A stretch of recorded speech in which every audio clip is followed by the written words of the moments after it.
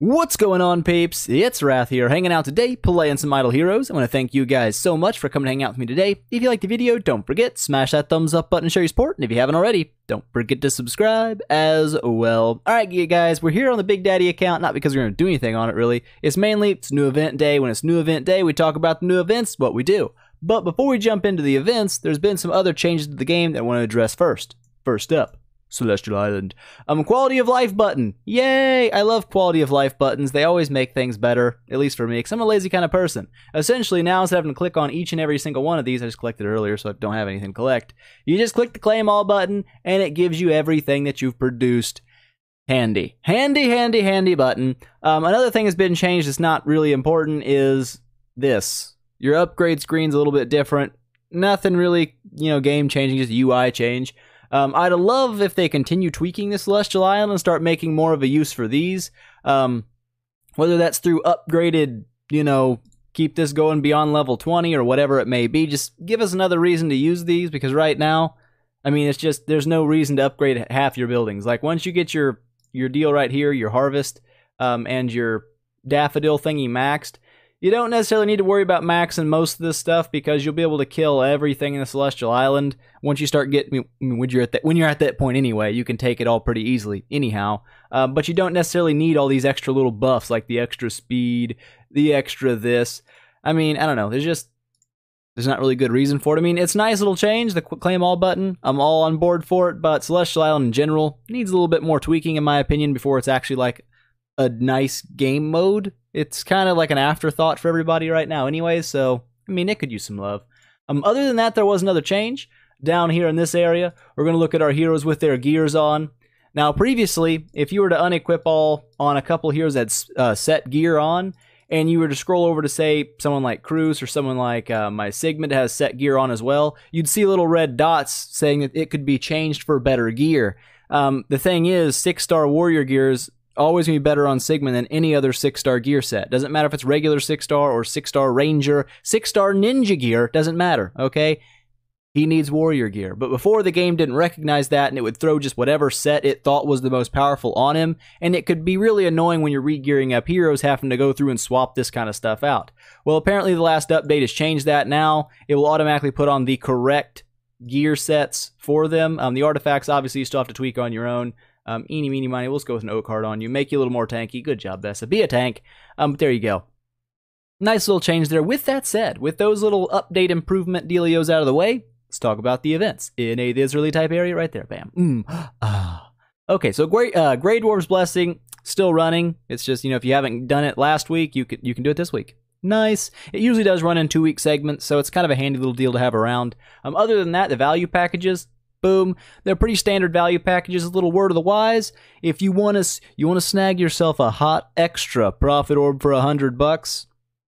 You just don't buy this offer. You buy one of these and you buy three of these, and it gives you 26 prophet orbs. Ooh, cheating the system. That's right. Um, it's not really that important, but it is true. You can get yourself one extra orb by doing it that way. Not a huge deal, but if you're looking for every last bang for your buck, you can do it. Absolutely, but nothing really important there. Just run of the mill, normal prophet orb deals. Uh, moving down to the event, this event is actually quite different for a prophet summon event. Um, in recent memory, I've never seen one like this, so it's kind of cool. Um, essentially, normally what happens is your prophet orb event, like this time we have uh, Fortress and Shadow as the shard rewards. So our 60 and 80 point rewards would have been a forest and an abyss. That's what these two would have been. Not the case this time around. It's actually going to give us four total, total, I guess two total light and two dark heroes uh, for full completing, which is really, really nice because light and dark heroes are kind of hard to get. And when it comes to making fodder, it's quite difficult to do. Um, all three of these, in my opinion, are strictly pretty much fodder nowadays. Not a lot of Dark Arthropods in top tier competitive teams that I've seen at least anymore. Even when it, when you look at teams that have full uh, good versus evil, um, like this guy, you don't see Dark Arthropod there. You know, Mihm, Aspen, Amuvor. Um, you'd even see, I would say, probably Das Moge in those teams. Another guy right here, same thing. Mihm, Aspen, and Amuvor. The GVE teams, um, there's the Abyss teams. I don't know if you have any other GVEs on this server or not. A lot of All Abyss. All Abyss is, is quite popular. Yeah, you just you don't see a lot of Dark Arthropods anymore. It's kind of old news. She's just not really great right now. So not a lot of people build her, but for me, that's a good thing. Oops, wrong button. Is that means I get an extra dark fodder. Woo! On the mini account, that just makes me fart rainbows left and right because I need tons of dark fodder to get my Aspen upgraded. And seeing that this event's going to give me two every time I complete, which I'm going for a total of three completions, um, that's going to be six uh, dark heroes just straight up and that's hot news. That's very hot news. Not to mention, you get two light heroes as well. Michelle, um, you do see Michelle built in those top tier GVE teams right now. Um, I assume, personal assumption here, I'm not sure if I'm correct or not. When the new light hero launches in the Chinese New Year, I assume what you're going to see is these people running the GVE teams um, will probably swap their Michelle out for the new light hero. I could be wrong. They might ditch Faithblade instead. I assume Belrain's not going anywhere because she's a freak beast. Um, but I'm not 100% sure on that. I would just say of the three light heroes, I mean, Michelle and Faithblade, I mean, they're they're different. They just do different things. She's better AoE crowd control, so you might see her stay in and see Faithblade get ditched out for hopefully the new light hero's better damage. We'll see how that goes. Um, but for right now, I'm not really planning on building Michelle, so for me, she's still potential fodder. We'll talk more about him in a second. But other than that, pretty solid event. Um, the one thing it does kind of throw a stick in the spokes for me was is I went ahead and cleaned my bag out and left two of every hero because normally in a profitable event you'll get one of every single faction just by completing the event. Um, this time I'm going to be a little bit high and dry, I believe. Actually, no, I'm not. I got yeah, I'll be a little high and dry when it comes to the grass and the abyss, but it's not a big deal. I've got some rando shards here. I've also got all my summon energy, and this is why I save it. People ask me, Wrath, why do you save that energy? I save it for stuff just like this. You can't see the future all the time. And yes, I thought I was 100% ready for Heroic Miracle. Turns out they changed up the rewards for Prophet Summon, and now I'm not ready. But because I have this saved back, I should be okay to actually be able to get this done. And even if I didn't, it's not a huge deal because I always like to save back some four star shards and three star shards. I can fuse up a uh, a four a five star uh, Forest and a five star Abyss just using hero shards. So it's another good reason to save maybe a little bit more than you think you need to save, just because for situations like this that you just can't tell is going to happen, it might pull you out of a pinch.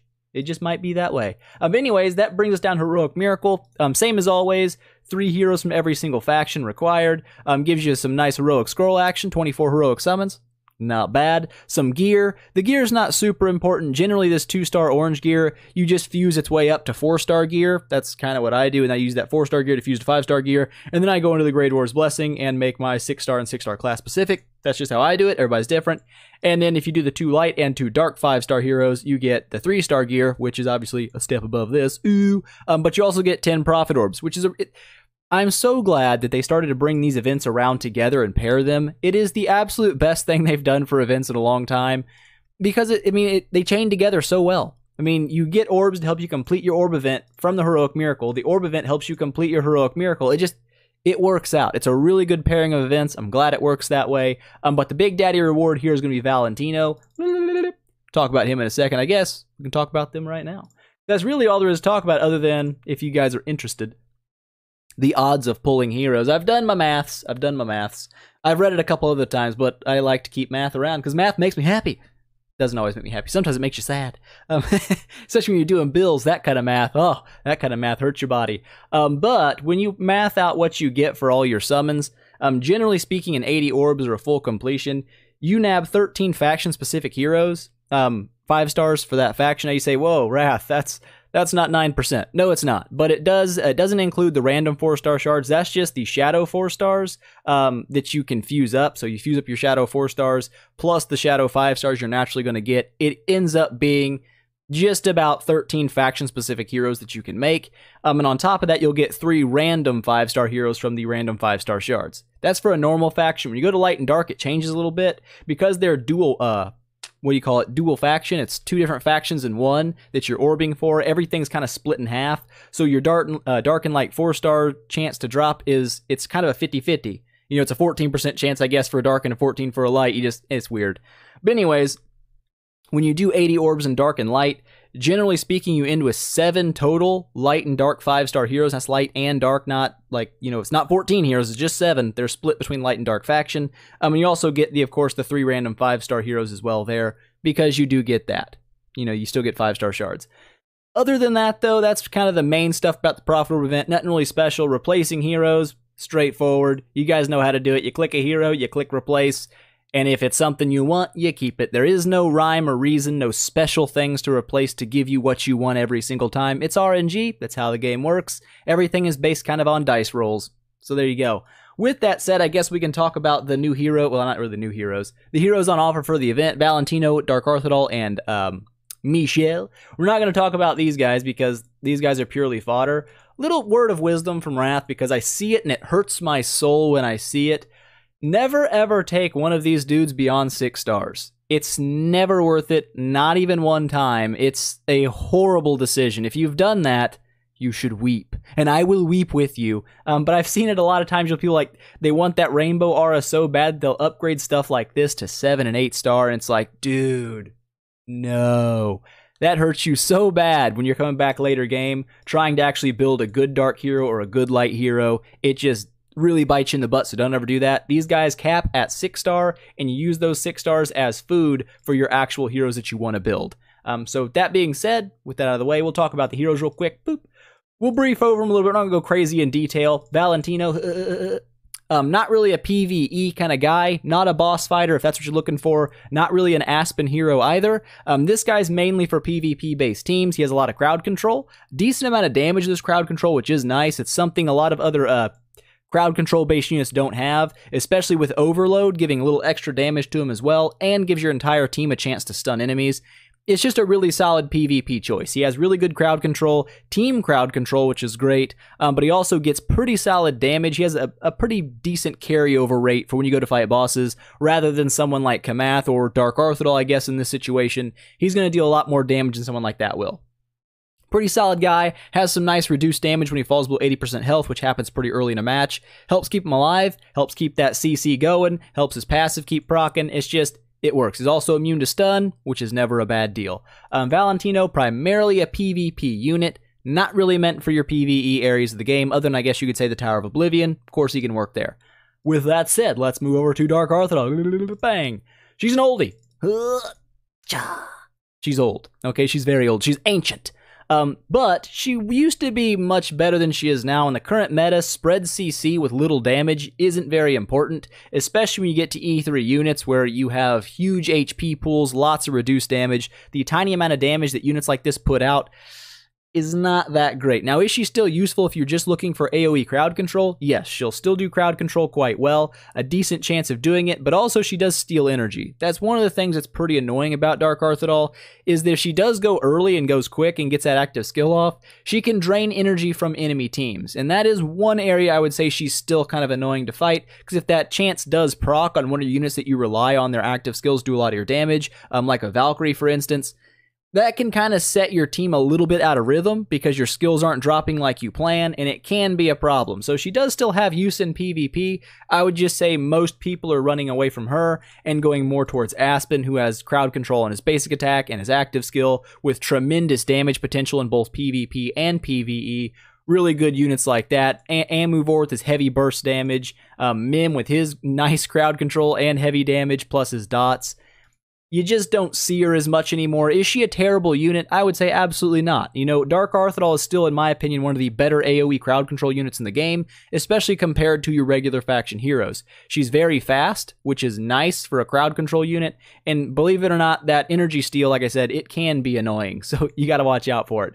Other than that, not a whole lot of specialness going on around her. She can reduce uh, enemies' uh, attackers' energy when she takes damage. Again, more energy drain, really annoying. Um, it's just one of those deals. She does get a boost to her attack, but her attack's not really high, and her damage on her skill isn't really high either. She really relies on that skill damage. Um, it boosts her skill to 100%, so double skill damage to do most of her damage. So her attack stat, while it's not a bad deal, she doesn't do like terrible, terrible bad damage in PvP. It's just not that solid compared to a lot of other units. So for a dark unit, I would say pass, unless you just if you really like her, then that's up to you, man.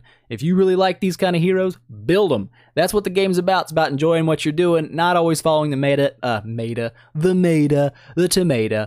Um, the meta, you know what everybody else is doing, pushing for those top, top, top tier, best in slot teams. If you really like heroes that aren't top tier, like say Sleepless is just your jam, you look at this guy and you're like, oh my god, need it, build it. That's what you should do because at the end of the day, it's about having fun, peeps. That's what it's all about. Um, with that said, though, we'll move over to Michelle. Michelle. Ooh, look at that. Michelle. She's a thing. All right.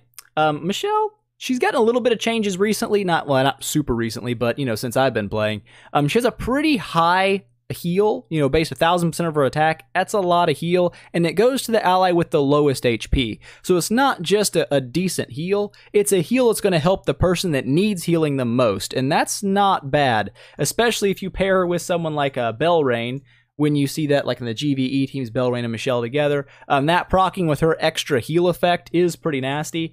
Um, but she also has a, a 40% chance to stun enemies, four of them, um, which isn't bad. This nice little spread crowd control, a little bit more utility. So she not only crowd controls people, she also heals them and is going to boost uh, their crit by 20% for three rounds when she gets that heal proc. So that's not bad. So you give a little extra crit, you get a nice little heal bump, so you're back in the fight, and she has a chance to crowd control the enemies to keep them from attacking you for a little bit, get you back on your feet. Not a bad unit. That's why you still see her in top tier teams.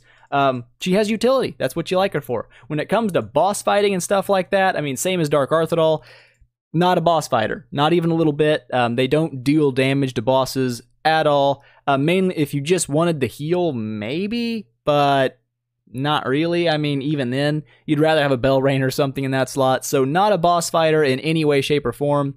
Um, kind of works in the Aspen dungeon early on, not so much later game, um, because she just doesn't have enough damage to keep up with waves. Um, it just doesn't work for her. She does have a decent amount of heal for herself, though, keep herself alive pretty well, but just really lacks damage, and that's what kind of hurts her the most. Um, but not a bad unit. She's pretty fast, same uh, same speed as Dark Arthedal, not a bad deal. Um, but one of the nice things about her is when she dies, she comes back to life. Not a bad thing. Not always a super. I mean, it's never a bad thing to come back to life. Um, but if you do die and come back to life, you don't have your energy. If you like you had a full skill saved up and you died, you don't get that skill when you wake back up. So it can throw a rhythm off a bit when she dies. Not a huge deal. I mean, it's just she gets an extra life, 100% HP revive, so it's not bad. Um, but she's also 100% control immune, and this is why you see a lot of them in PvP. You can't stun, freeze, or petrify a Michelle. It just doesn't happen, and that's really handy when people rely on it because it's not going to happen to you. And she can counter with crowd control of her own and a little bit of heals. It's just, it's nice. It works. It's primarily a PvP hero. Um, some, like I said, some limited use in the Aspen dungeon, stuff like that as well. Not really for bosses. Um, just kind of, kind of a PvP person. That's what she's all about. Michelle for PvP. It's thing. All right. So there we go. That's pretty much everything knocked out. We knocked it out pretty quick. I feel like we did a pretty, a pretty slick job. Pretty slick job. Um, but this event, I'm going to be doing a double completion on this account, probably in light and dark, um, just because I really want to get my Gurky swapped over to a Bell Belrain. I want to get my 10 star Bell Belrain going. It's got to be a thing soon, so it might as well be now. Um, plus, you never know, might get some stuff here to get my Das Moge upgraded as well. Or if I pull some Aspen copies, hmm, hmm, you never know. Things might be a changing. Um, but yeah, that's kind of the game plan here. On the mini account, I'll have 240-ish around, because I'm going to buy a few of them to make sure I can do three completions. Um, I'm probably going to do two in Abyss and one in Light and Dark. Not sold on it yet. We'll see how it goes. I might do one in Abyss and two in Light and Dark, or maybe all Light and Dark. Hmm, I don't know. We'll see. We'll see how I'm feeling. But there you go, guys. That's the new events covered, the heroes discussed. It's a thing. We've gone through it. So there it is. I hope you guys enjoyed it. If you liked the video, please make sure, smash that thumbs up button show your support. If you haven't already, don't forget to subscribe as well and tell your friends about it because that definitely helps me out a lot. And I will see you guys in the next one.